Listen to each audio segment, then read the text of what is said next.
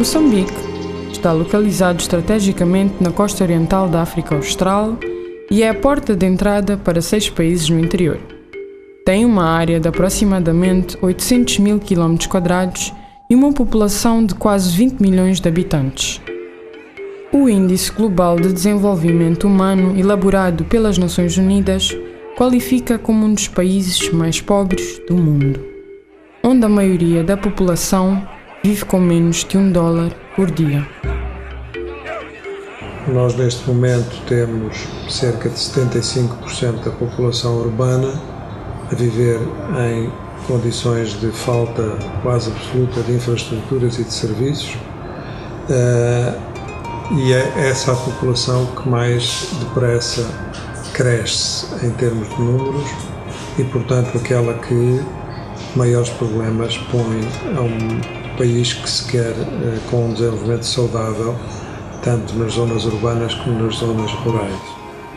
Devido a um período de guerra civil de 17 anos neste país, houve grande pressão sobre as vilas e cidades, como o influxo de população rural que criou uma série de problemas, pois estas cidades não estavam preparadas para tal fenómeno.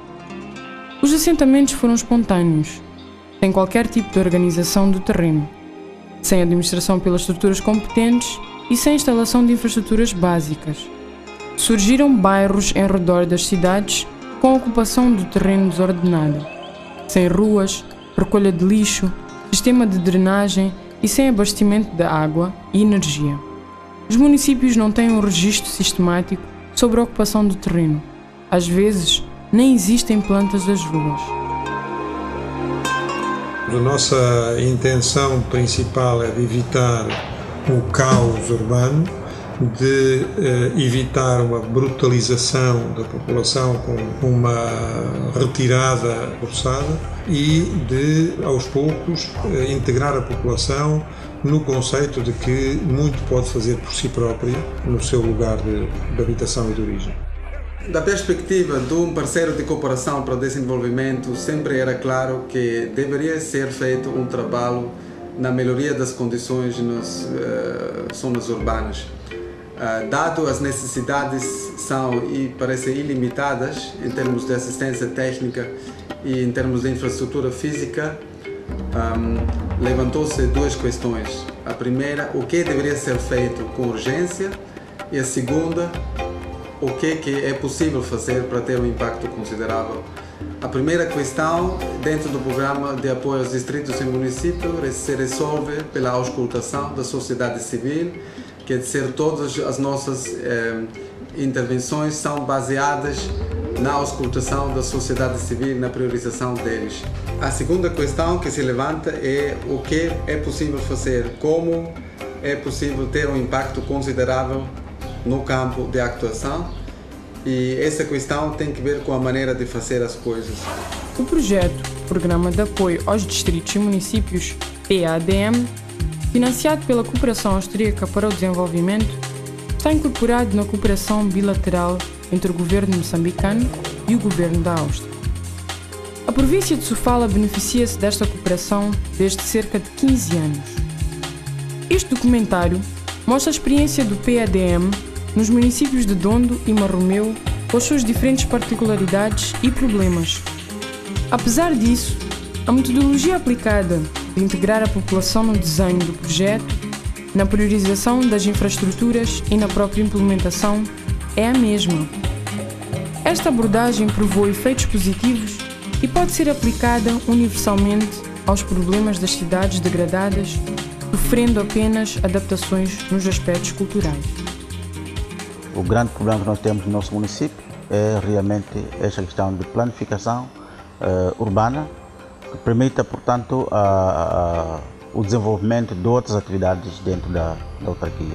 E cada dia que passa, a vila vai crescendo. Um dia qualquer isso vai ser cidade. O que nos motivou a optarmos por este programa foi, primeiro, para permitir a acessibilidade do próprio bairro. Nesses bairros, tínhamos muitos problemas de como penetrar. Não havia acessibilidade nenhuma. Isso estava de uma tal forma desorganizada que não tínhamos por onde começar. Existem dois pontos importantes eh, para nós nesta intervenção a nível do campo, que é um deles foi que envolvemos a comunidade local nestes trabalhos. Não tivemos que contratar empreiteiros com grandes maquinarias pesadas para estar lá a fazer o trabalho que nos ia elevar os custos. E estas populações, por sua vez, hoje podem assumir esta responsabilidade por terem feito ou participado neste trabalho, assumirem como deles o trabalho, poderem melhorar, poderem manter essas estradas, poderem manter o seu próprio pedaço em frente à sua casa. Para realizarmos o projeto de reordenamento no município de Marromeu, começamos por um trabalho de levantamento socioeconômico do espaço físico da zona de intervenção. Foi a partir desse levantamento que fizemos a proposta do projeto de reordenamento. Esta proposta passou por inquéritos com a comunidade do bairro, que fez com que os residentes tivessem o conhecimento do trabalho a ser executado. Seguimos o passo da implementação do projeto com a comunidade. Priorizamos a conversa com a comunidade, visto que não houve nenhuma indemnização. As pessoas tinham que entender o trabalho. O esclarecimento frente à população e a participação ativa dela são elementos-chave para garantir sucesso dos trabalhos de urbanização. Para conseguir a confiança da população, trabalha-se com o líder do bairro e contratam-se ativistas que vão de casa em casa inquirir os residentes para melhor poder compreender, julgar e intervir. São estes ativistas que, numa fase pós-projeto, darão continuidade ao processo de urbanização no território da sua autarquia. O conhecimento do tecido urbano existente e a análise profunda da área de intervenção é feito com base numa imagem satélite recente facilitada pelo projeto. Nem sempre o que a gente vê no desenho ou na foto satélite é o que se passa no terreno. Então há necessidade de trabalhar no terreno e no, no gabinete. Depois tem que ser feito um desenho da rede viária e aí solicita-se uma fotografia satélite. Os desenhadores eh, do município fazem a demarcação no próprio mapa sobre a fotografia satélite das ruas. Depois é feita a delimitação dos talhões no mapa. Todo este processo sai gratuito para as populações e ganham um título de, de uso e aproveitamento da terra. Quer dizer que se amanhã as pessoas quiserem construir, já estão reconhecidas por lei que aquele terreno lhes pertence. Um dos grandes problemas sempre constatados pelas comunidades é a falta de acessibilidade do bairro.